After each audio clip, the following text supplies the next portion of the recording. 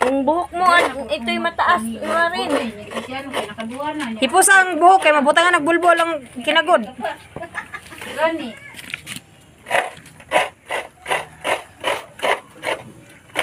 Present gini always si Miss Africa eh.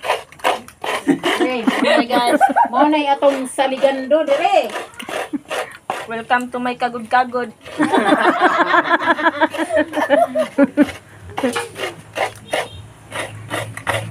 Saan niyo pagluto ka? Kami ay magkagod kasi kami taga Philippines, sila ay taga Philippines, ako taga Africa, assistant lang ako nila.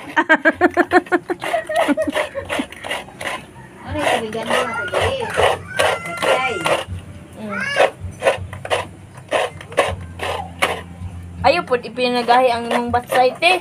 Bye. Ano ba, para ganahan ta muli ako. Saligando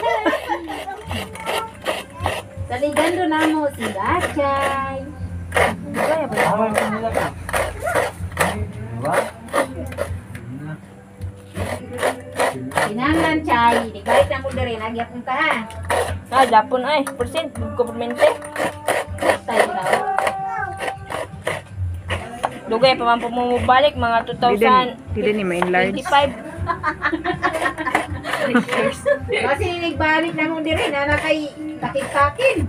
Uy, kuyawa po din. Wala na lang yun, di na ka maka-imbis yung vlog.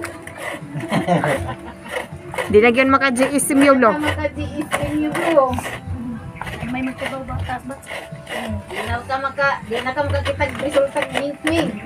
Lugay, man mo mamalik dari, di na po mo kalibre. Panglibre. Lugay kay mo makapanglibre na mo. Oh, ito'y tapos na.